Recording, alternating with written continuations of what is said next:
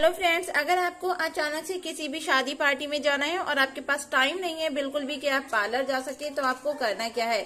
आपको लेना है एक चम्मच गेहूँ का आटा। गेहूँ का आटा बहुत ही अच्छा होता है हमारी स्किन से सारी मैल को उतारने के लिए। तो हमें एक चम्मच गेहूँ का आटा लेना है और इसमें आपको लेना है और एक ही चम्मच हम इसमें लेंगे बेसन और दोनों को अच्छे से मिक्स करेंगे और इसके बाद में आपको लेना है विटामिन ई का कैप्सूल ये हमारी स्किन को बहुत ही अच्छे से एंटी एजिंग की प्रॉब्लम से दूर करता है। तो इसमें एक होल करके आप इसके अंदर का सारा जेल अच्छे से निकाल लीजिए और हमारी स्किन को जो है ये चमक देता है। ये देखिए, हमने सारी चीज़ें ले ली हैं। अब इसमें आपको लेना होगी वन पिंच हल्दी।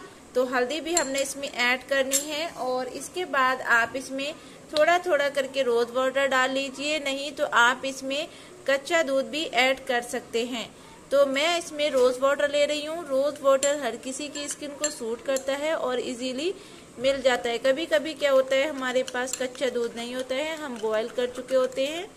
तो इस तरीके से आप इसमें रोज वाटर ऐड कर लीजिए और अच्छे से मिक्स कीजिए। इस पैक को आपको अपने पूरे फेस पर अप्लाई कर लेना है। किस तरीके से? आइए मैं आपको बता दूँ। तो इस तरीके से हमें अपने पूरे फेस पर इसको लगाना है। और जब ये सूख जाएगा अच्छे से, तब आपको इसको रगड़ रगड़ के हटा देना है। इस तरीके से हफ़्ते में दो बार ऐसा करने से आपका चेहरा बहुत ही जल्द गोरा हो जाएगा।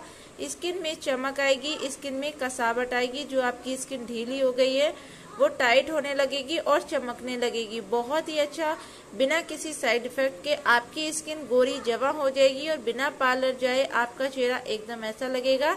जैसे कि आपने फेशियल करा हुआ है तो आप इस तरीके से बनाइए और इसको फॉलो कीजिए।